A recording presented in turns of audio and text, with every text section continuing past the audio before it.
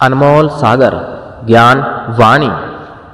भारत का सिक्किम प्रदेश एक ऐसा प्रदेश है जहाँ पर सबसे कम मुस्लिम लोग रहते हैं। और जम्मू कश्मीर, भारत का जम्मू कश्मीर राज्य एक ऐसा प्रदेश है जहाँ पर सबसे ज़्यादा मुसलमान रहते हैं। वहाँ पर मुसलमानों की जनसंख्या है, जम्मू कश्मीर में जनसंख्या है 68 और इसके बाद हम बात करेंगे मादा हाथी, जिसको हम हथनी कहते हैं। हथनी एक ऐसा जानवर है जिसके दूध में नशा होता है। और सबसे महँगा दूध शेरनी एक ऐसा जानवर है जिसका दूध दुनिया में सबसे महँगा रेट का दूध बिकता है। और एक टमाटर ही एक ऐसा फल है जो एक ही दिन में पक जाता है।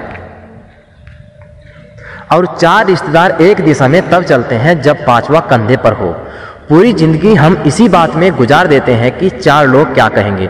और अंत में चार लोग बस यही कहते हैं कि राम नाम सत्य है। थोड़ी कॉमेडी की बात करेंगे। एक व्यक्ति घर में पुराने कागजात देख रहा था, तभी उसके हाथ में धर्मपत्नी का आठवीं कक्षा का रिपोर्ट कार्ड आया।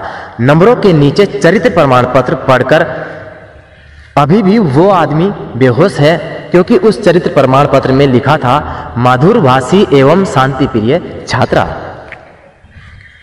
और दोस्तों कहते हैं कि नसीब कभी कभी दरवाज़ा खटखटाता है। जिसको उसका एहसास हो जाता है, वह पूरी ज़िंदगी मौज उड़ाता है। लेकिन जो आहट सुनने से चूक जाता है, वह ज़िंदगी भर पछताता है। इसलिए अच्छे अवसरों का ख्याल रखिए।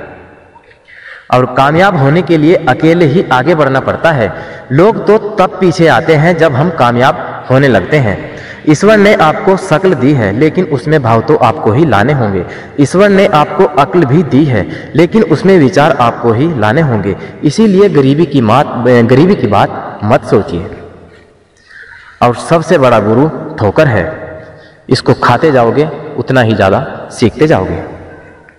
क्वेश्चन की बात करेंगे, इससे पहले मैं गुजारिश रोज़ाना की तरह हमारे चैनल को सब्सक्राइब दोस्तों कर लीजिए। यहाँ पर रोज़ाना मैं नई नई वीडियो लाता रहता हूँ।